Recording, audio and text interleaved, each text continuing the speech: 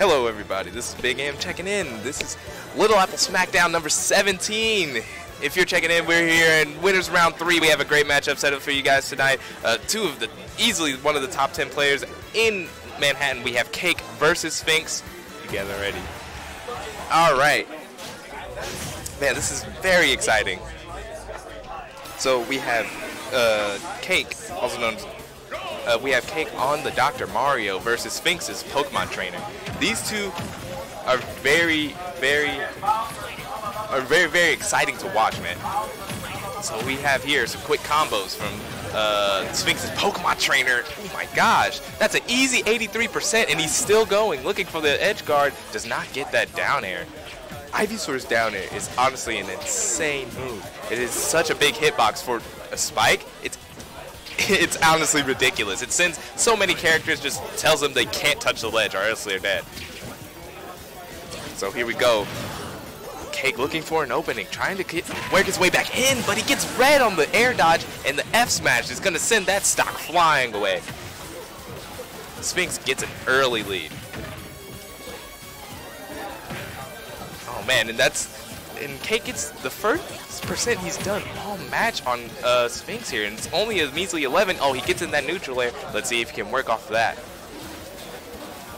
Honestly, one thing I like about the three stock format in Ultimate is that it allows for a lot of room for comebacks. So even though uh, Cake seems to be at a major deficit here against Sphinx, you know, you never know. You got to stay in it. You got to continue to play like you're on your last stock because you can turn it around on the uh, on the spin of a dime, really. I don't think that's the saying, but you get what I mean.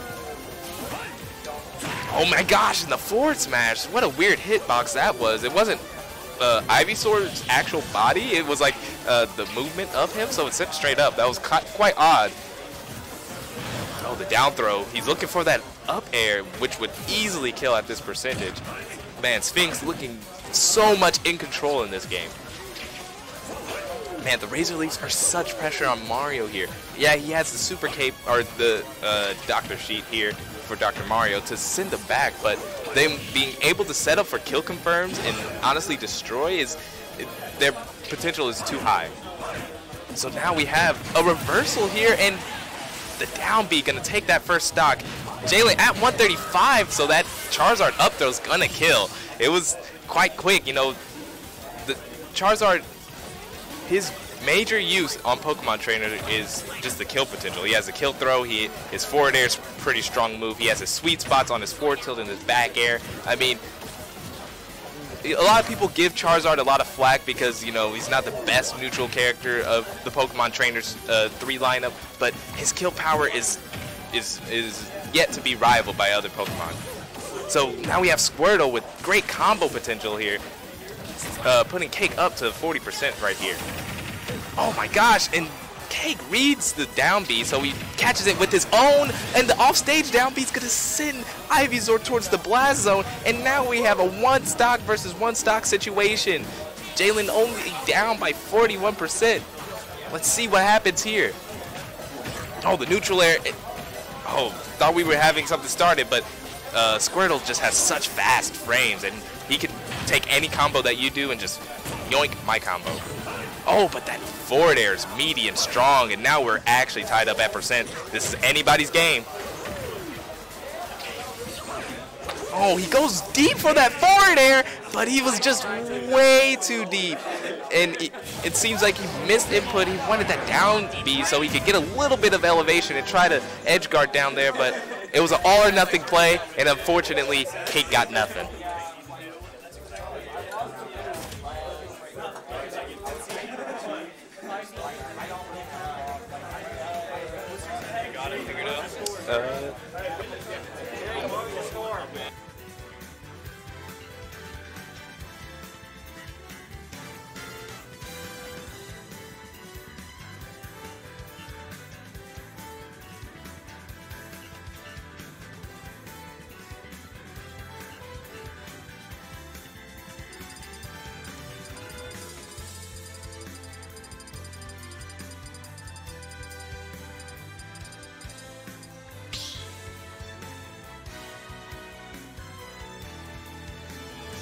battle, Dr. Mario. Pokemon Trainer.